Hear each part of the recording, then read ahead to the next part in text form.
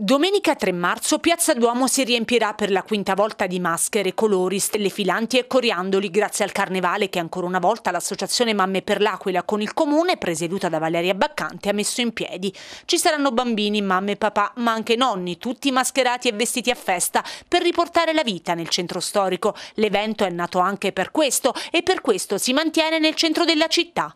Non mancheranno l'animazione e i personaggi più amati dai bambini. L'evento si svolgerà dalle 10 alle 13 circa.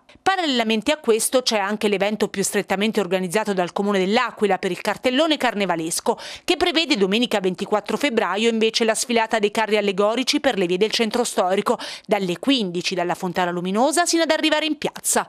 L'appuntamento è alla seconda edizione, vedrà il carnevale abruzzese con sfilata di maschere della tradizione a cura di Pantarei, il carro allegorico ispirato alla carica dei 101 portato in strada dalla Proloco di Coppito e ancora la sfilata dei bambini in musica grazie alla Wispi a Punto Luce, con il carro della Proloco Piana di Roio ispirato agli anni 30 invece.